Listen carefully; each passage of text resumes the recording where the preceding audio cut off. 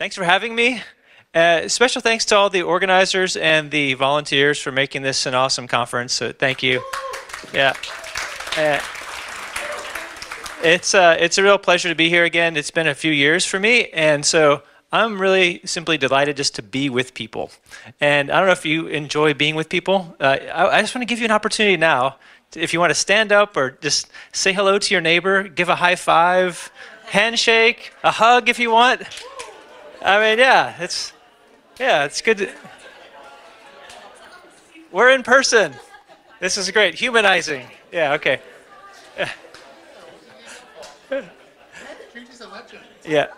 So great. So uh, we're going to be talking about uh, this this made up concept. It's if you, if you don't know what this word means, it's because I just kind of made it up. Actually, no. Google uh, Google Bard generative AI tells me that it is actually a Japanese phrase. Uh, so, uh, but in the work that I do, and maybe like the work you do, uh, it's so so frustrating sometimes when we, we try to have people change. Right? We're trying to help you, uh, and yet it's it, it's difficult. I don't know if anyone feels the the metaphor I, I think of is it's like pushing a string sometimes, and. Uh, that's that's what it feels like. And um, so anyway, so hopefully we're going to be able to discover. And I'd like your feedback as we go too. I'm I'm fairly informal with these kind of talks. So if you have ideas, I don't have all the ideas. I have a few that I've collected. I'll present to you. But if you have, that's the power of the group here today, right? So anyway, so uh, just first off, it does have a meaning. So it's this idea of easy change or easy to convert. All right, so uh, when, when it's easy to do something, uh, it's almost like if you're familiar with this, the, the old book. Is anybody old enough to remember this book? Early web design. I, I, love, I, I, love the concept though. So when I think about change, uh, it's, you know, really, how do we find those, those places to hack the system uh, to do things where it makes it just easy for things to happen. It is less frustrating for change agents. It's, it's, less frustrating for the people that we're trying to help. Uh, so it's really this concept of not making people think. Don't don't make people think it's change, right? It's just easy. Make, we we create a path that it's easy to follow in. Uh, so uh, not long ago, my, my wife sent me this article. I don't know if anyone ever feels this way. uh, or you could fill in, why does my customer reject all of my good ideas? Uh, of course, they're all good ideas, so why would they reject them? Uh, so this is an interesting story about basically what's going on. It's not necessarily your ideas. It's maybe not even your boss. Your boss isn't necessarily evil. Your customer isn't evil. But there's something going on that we need to pay attention to that's making it difficult to change. Uh, so uh, if you're familiar with uh, Lewin's uh, kind of heuristic formula for, for uh, behavior, so basically behavior is a function of the person and environment. So this has been helpful for me just because uh, I have a colleague who kind of introduced this, this to me and, and it was really kind of coaching from this stance to be aware that oftentimes it feels very personal, right? It feels like what's wrong with you as a person, what's wrong with me as a change agent. Uh, but oftentimes we're thinking about how people are behaving in a particular environment. So I actually, there's a, a friend I have who started at a company recently, and uh, he's he's like two months into his new job, right? And so you can already sense that he, he wants to do the right things, and yet he's sensing what the environment is telling him. He's responding to environmental variables, responding to motivators, uh, incentives in the system. And so he's basically living this, right? So what does it mean to, if you're a person, you want to do the right thing, you know what the right thing is, but oftentimes we're working in an environment that makes it uh, hard to do that. So I think of this as, uh, as growing, I, I, like to drink wine, uh, so I, the metaphor of, of uh, a grape uh, and a vineyard is helpful here because oftentimes we see the thing that's above the surface, right? So if we think about culture, and this comes from the, the Kanban culture mantra, basically outcomes follow practices, follow culture, which follows values. And the, the, the difficult part here is that oftentimes we intervene in a system at the practices level, where we train or we, we sprinkle good practices on people. And uh, it seems like that should work. Uh, but we're not paying attention to what's below the surface or what's in the soil. And so I want to encourage us to think not only about the practices, practices are good, but to think about what's below that. Uh, if you're if you're just scattering seeds on the sidewalk, uh, those seeds are not going to grow very long. They're going to die. And so oftentimes this happens, right? So uh, the example of my friend who's he wants to do the right thing, he knows what good practices are, and yet the, the soil is not conducive to him doing those things. So the culture, we might think of that as kind of this, this cyclical process of values, whether they're stated or unstated, the structures of an organization. And so paying attention to the structures is actually really helpful because we've got all sorts of things, and you, you can probably think of your own example of what is the structure? What is the structure of the environment? Uh, what's going on here? So all the different kind of motivators that they're, again, sometimes they're explicit, sometimes they are not. And sometimes it takes you a while to even realize what is going on in the system. So it's taken me a year or more at some places to realize, oh, this is why people do this. they have this built-in system of how they're rewarded or how they're punished or what the career uh, paths look like. And so you can see different policies, how we measure things. Obviously, that can be a driver of behavior. So these things kind of work in conjunction with each other. So the culture, the values, uh, and the structures. And sometimes one follows the other, sometimes the other informs the other one. So uh, paying attention to that whole, some people, you know, kind of just focus on culture, but to me, it's a little bit bigger picture. It's not quite as simple as that. All right, so when we think about leverage as change agents, uh, when we focus only on the practices uh, without understanding the culture, without understanding the structures, uh, we oftentimes, the, the practices themselves are not only not doing what we need them to, but we're actually, uh, in some cases, making things worse. I don't know if you if you introduce yourself as an agile coach or you come in and you're going to say, oh, we're going to do some, some Scrum stuff or some Kanban stuff or Flow stuff, and you try it, and because there's, there's a, a very poor environment, it ends up actually being worse than when you started.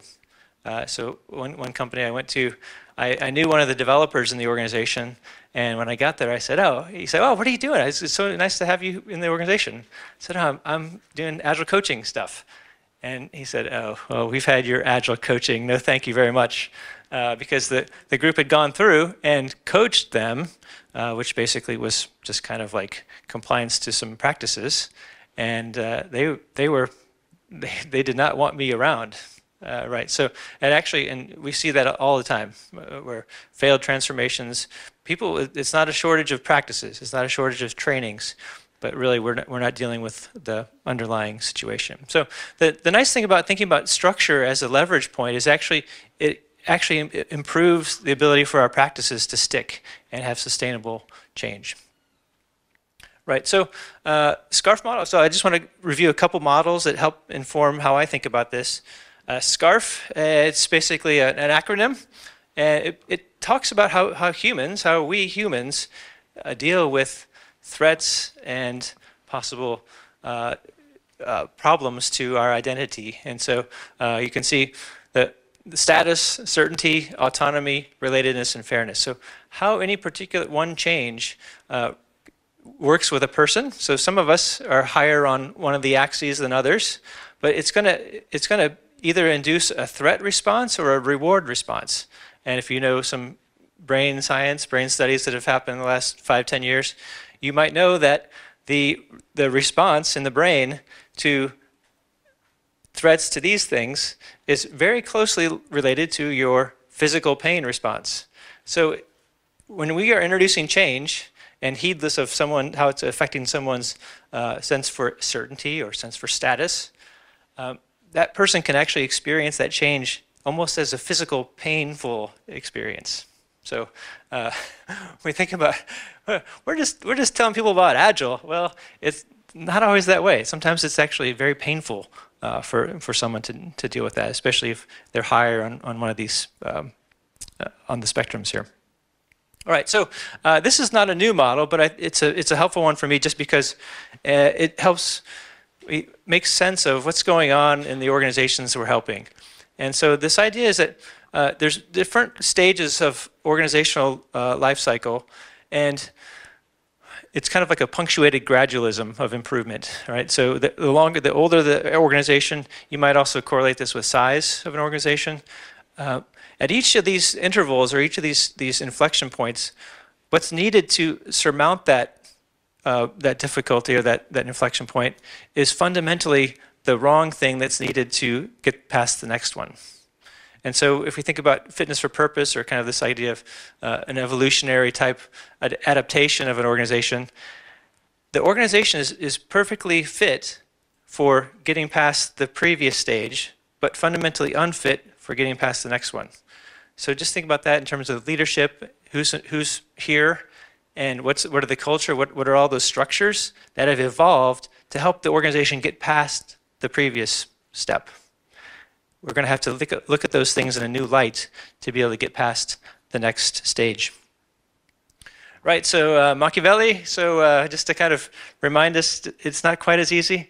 Uh, there's nothing more difficult to take in hand, more perilous to conduct, or more uncertain in its success than to take the lead in the introduction of new, a new order of things.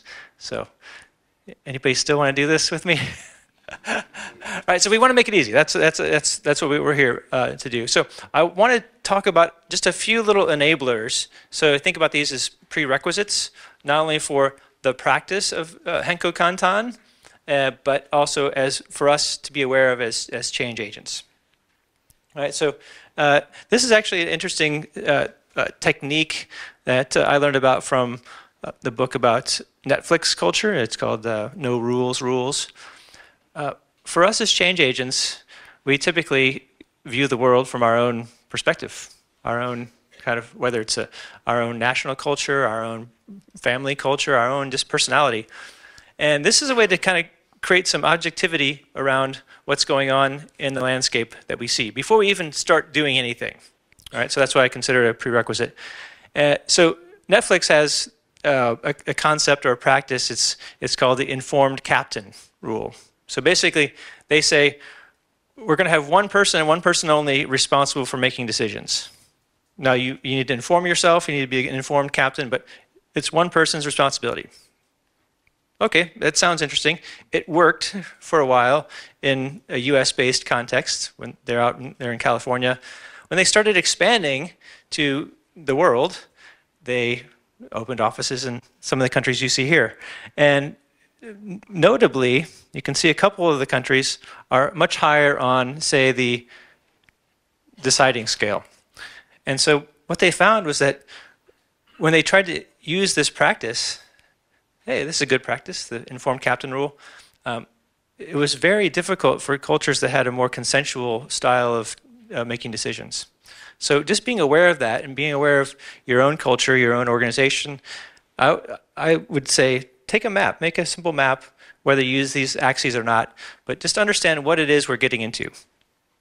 All right, so uh, I don't know if you anyone knows the uh, the famous uh, painting by Magritte, Rene Magritte. It says uh, "Ceci n'est pas une pipe." This is not a pipe. right? It's a picture of a pipe, and it says, "This is not a pipe." Uh, that's what I think about when I see the corporate values on the walls. All right, uh, and I have a theory. I haven't tested this, but uh, it's that the older an organization is, or the, the more legacy an organization is, the the less reliable the values are. Right, they're more aspirational values, maybe we'll say. Right, so uh, so one of the things is, so I'm from the Midwest in the United States, and so we're we're kind of trusting a bunch of people. But my state is called it's called the Show Me State. I come from Missouri, and our motto is the Show Me State. So I need to kind of check into this this uh, Missourian skepticism to say what you see on the wall is not really what's going on here in the culture. Right? It, it, it's okay to be uh, skeptical that, about that. So the, the values are not necessarily the values. So just kind of go in with that that uh, assumption. Uh, empathy. Uh, so as excited change agents, we have a lot of great things to offer people. Right? We're, we, we know some of these things work. We're excited to help people. Uh, and so we just oftentimes barge in. So uh, this is a, a, a cube uh, from a man named Irwin. So I was, this is a few years ago, I was invited to help lead this transformation. So they were going to take one team, handpicked of all the best people around the department, and Irwin was this more senior developer who he was about ready to retire. And I could see in his eyes as soon as they said, "Oh, we, are picking you, Erwin, because you're you're awesome," and he's like, "Oh, this is this agile thing. It's the latest flavor. I just want to retire." He had his his cube was all kitted out. He had multiple monitors. He had multiple computers. Everything was just right for him. And here, management was telling him, "Hey, we're doing this agile thing, and you need to come to the team room." And of course, I, I was excited because I love team rooms. I love informed workspaces. I love the dynamics of, of being together, working uh, shoulder to shoulder. But I knew it was not working for Erwin. So rather than say, hey, Erwin, you need to get with the program, I, I, I, I took him aside and I said, Erwin, I, I get this. Like, this is probably your worst nightmare. And I wish I could take you, you know, give you a chance to get off the team. But your organization wants you, and because you're good. And I said, if you could just kind of honor some of the things, come to the morning, stand up, and then you can go back to your desk because I, I know that's where you're that's your happy place. And it was like something turned on with him. He he he, he saw that I was trying to like see him as a fellow human. and and so the first day we all gathered around. You know, there's a lot of people excited, a lot of people watching what's going on here, this kind of fishbowl. And Erwin comes to stand up, and so I was just kind of waiting to see what he would do. And stand up broke, and people went to the desks, and a couple of guys started pairing. And he went over and he said, "Oh, what are you guys? What are you guys working on?" And he, they invited him to sit down, and he spent the whole rest of the day there. He spent the whole rest of the next six months there, and within a week, he had taken all of his stuff out of his. This is I, I, love this picture. You can't quite see the dust accumulating on his on his table, but there was actual dust. And so this is one of my favorite pictures. It looks quite lame actually, just uh, out of context, but it's one of my favorite pictures because Erwin, just a little act of empathy, allowed Erwin to uh, to come into the change. Okay, uh, we all talk about psychological safety. The thing I don't see quite as often is actually measuring safety or really getting a sense of do we have safety? We talk about it, it's great, uh, but uh, just a couple things you can do. Safety checks, and uh, again, a, a, lot of leaders aren't familiar with how to do this. I actually I was working with my own leadership team, and our kind of uh, next level leader was in the in the group with us, and and I said, well, let's do. Well, actually, my manager invited me to do a safety check, and so I did a safety check, and his manager was there and said, oh, this is really interesting. I'm going to try this with my leadership team. And so uh, just giving people an opportunity to, to, say, well, everyone's safe here. That's, well, that's not quite good enough. Um, the other is safety scan. So this comes from Fearless Organization, actually measuring these things. I, I take my own uh, monthly safety scan to see how psychologically safe am I. And uh, anyway, so it's, it's possible to measure these things these days. So uh, psychological safety for any kind of change is important. Okay, now on to some hacks so we can practice uh, doing uh, Henko Kantan. Uh, does anybody know what this is? Yeah, okay. I, I think of this as uh, uh, the, the Agile Rorschach test. So um, again, think about the culture that you're introducing change into.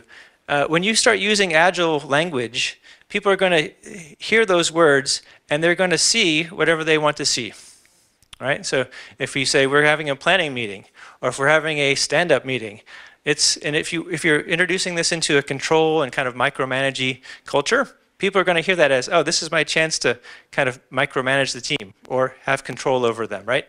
So these days, I try to avoid language, as Martin Fowler calls it, the semantic diffusion of words. So words that once upon a time had common, interesting, good meaning, like agile, uh, not anymore. right, Kanban is another one of these.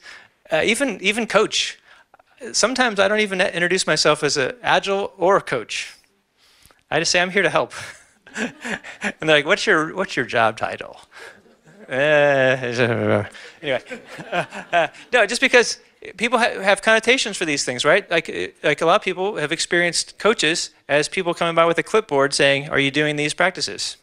And oh, by the way, thank you very much. We don't need your help, right? So uh, it's kind of just coming off that language and not creating additional unnecessary uh, um, emotional resistance is, is, helpful. Right, so uh, does anybody know what this is? I mentioned Martin Fowler. If you know Martin Fowler, you probably know this. What is it? The strangler fig. What's the, what's the interesting thing about that? About, Yeah, strangler pattern. He uses it in code.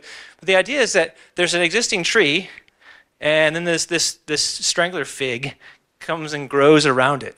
So if you're familiar with this concept of, it's an economic concept of loss aversion. So we as humans, we are susceptible to loss aversion, which basically means we value things we already have twice as much as things we might have. This is important in change because people are twice as much resistant to trying something new if, you, if they still have the old thing. Right? So the, the way I, I, I'm thinking about this these days is really to construct something before removing something from them, right? So avert loss aversion. Um, it's, it's, it's hard. Uh, okay, six team conditions, just designing. This is a, something that's come around, I don't know, in the last five years, I think. Uh, just to kind of give us a sense, so much of what we, we see can be um, helped with a little bit of uh, thinking ahead of time. And so if you're familiar with, with, this, with their work, this is some interesting research about the effectiveness of coaching. So uh, I don't know if you think of yourself as a, as a if you're if you do coaching work, if you're if you're effective coach or not effective coach, but basically in any case, a well-designed team coaching, if we're if we're throwing coaching at something, we're going to get much more bang for the buck if it's a well-designed team. Right. Okay. Uh, next, our next hack is making visible the unseen things, the unseen motivators that are in our system. So if you're if you're down here, you say, ah, I, I'm I'm I'm a good-spirited coach. I just want to help people. Uh, okay, that's great, but you're blind to what's going on in other people's minds and what's going on in their own worlds. And so you might have this goal in mind, and we say, let's let's agile, let's let's do agile, whatever that is, right? But meanwhile, the other people that you're working with in your system have different motivators, different things pulling on them. Uh, like my friend that I, I, said just started a job not too long ago. Uh, so one person might really be under under the gun to prove that this a model works, right? So what does that mean? Uh, another person might just say we just need to increase the number of agile teams, just get, you know increase our our total count. So you can already see there's maybe some conflict going on here. These people have different motivators, different needs.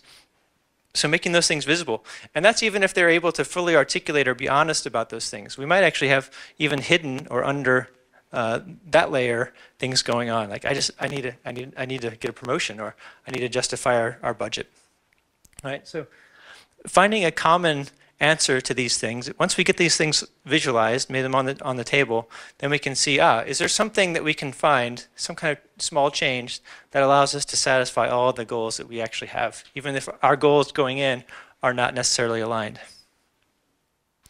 Uh, Salesforce is, is pretty well known for, the, for doing this kind of thing. They have a very highly transparent uh, uh, internal wiki that shows all the everyone in the organization uh, and their they call it V2 MOM, which is kind of a, a, silly acronym, but it's easy to remember, I guess. Uh, vision, values, methods, obstacles, and measures. So everyone can see how they're related and what's going on. And so it, it, it's like one step closer to making this, this kind of stuff transparent. Okay, so this is the this is a, a new pattern I'm trying. Uh, it's the the Henko Kantan pattern, right? So it's basically it's pretty simple. It kind of draws on some of the things you've probably seen before. But basically, we'd like to see uh, someone uh, some kind of behavior change, and we hope it would result in this kind of outcome. And the thing that makes this difficult now, and this is where we have to kind of take this approach of uh, obliquity, so the idea of pursuing a goal indirectly. So oftentimes the thing that's inhibiting us is not the thing that presents itself above the surface. Uh, so uh, identifying what that thing is, so, so instead we'll try this easy change. And then we'll all know we're on the right track if we get some early signal. So here's an example. Uh, we'd like to see team leaders cooperate more, uh, which we hope would result in teams coordinating to deliver features, like completed features, not just individual bits of stuff that's never integrated or never actually done. And the thing that makes it difficult now is that our leaders actually, when we look below the surface, our leaders have individual goals. And so, you know, this isn't in the Agile textbook, right? It doesn't say like, uh, uh, make sure your leaders have shared goals. I mean, you can kind of derive that. Uh, so instead, we'll try writing goals that the team leaders all share, they have in common. And then we'll, we'll get a signal if, if teams are actually finishing work uh, that would be helpful. Here's another one. Uh, we'd like to see managers lead more and micromanage less. And we want to have our people be more innovative. And so if you have a system that where the managers are forced to force rank their employees performance-wise, right? That, that's a huge inhibitor. All the, ad, the great agile practices you could sprinkle on people, if you could undo this thing, you could probably save all the time and effort in training people. It's a high leverage change, right? Um, and then we're going to just try temporarily suspending that. So thinking of this as, a, as an experiment. All right, speaking of experiments, again, this is a way to kind of just make it easier for people. Small experiments, uh, probes even, just trying things. Uh, I, I tried something recently. Uh, so uh, different companies have different cultures. Uh, I personally, I'm not big on like status recognition, certs, badges, and all these things. But some people are. Some some cultures, that's a, a big thing, right? So uh, I, I was really concerned that a lot of people were spending like their full days. They were like, I don't have any time. I'm just going back to back meetings. You've maybe heard this. And so I'm like, how do I how do I get people to make space in their daily schedule? And so one thing I could do, I could just tell them, hey, it, there's a lot of good research that says you need to do deep work. You know, you're, you're more creative when you have a solid block of time. That doesn't work uh, in in a culture where status and recognition. So what I did is uh, a little probe. I I made a, a, channel on Teams, and I call it the 50% Club. I said anyone who has a day of work where you have 50% of your time free for meetings, you get to be in the club. And and lo and behold, it's uh, people are interested, right? So it was a little probe to see what what's going on, what what what happens to a particular in a particular culture that I need to tap into. All right, uh, I think I told the story about my friend Leonidas the other day. I'll, I'll keep going because I think time is short. Uh, Ulysses contracts. The story of Ulysses. What happens? Any, any classics scholars? Ulysses, uh, Circe's, yeah, what? Yeah, it's a, it's a long story. Yeah, okay. Yeah, so this is uh, he, the the the uh, sirens. He goes by the island, of the sirens. Circe has warned him, uh, you need to be careful because you'll be shipwrecked. Uh, what, what does Circe say to do? Put wax in your your ears, or yeah, in in your in your people, your uh, shipmates' ears, and and have them tie you to the mast, right? So he can hear the sweet music of the sirens uh, but he, they won't get shipwrecked, right? So he uses information ahead of time to do the right behavior. So this is the idea is that making it easy to do the right thing and harder to do the wrong thing. So this is kind of like a premeditated uh, dis discipline to say, here's the change I want to have. So for me, a couple of years ago, I, I read about the value of doing a, like a daily gratitude journal. It's like, oh, sounds good. It's kind of like our New Year's resolutions, you know, all these good things. Uh, how am I going to make that change happen? Well, for me, I have a personal Kanban. And so I knew that if I would hack into that existing habit and I would just make a daily card pop up that says daily gratitude journal, boom, that I do the things in my daily or my personal Kanban. And lo and behold, I've been doing it ever since, right? So make it easy to do the right thing. Ulysses contract. Okay, so I just want to encourage everybody to be, oh, thanks. I wasn't ignoring you guys. I, I know time is winding down. We're in extra time. Uh, so I, I, want to encourage you to be an environmentalist. All right, so this is a man, this is a, uh, Guillaume Gonnet. He, he owns a winery in France. Uh, he's a lovely man, but uh, he takes care of his, his vineyard, uh, not because, not just kind of making sure everything looks good above the surface, but he takes care of what's going on below. And so I want to encourage everybody here to be an environmentalist. Pay attention to the environment that you're working in. When you're doing change, think about the structures. Think about what's happening, uh, not just the practices, but what's, what's in the soil. So I think that's it. I don't know if maybe, no, stop now. What? No. All right, thank you, everyone.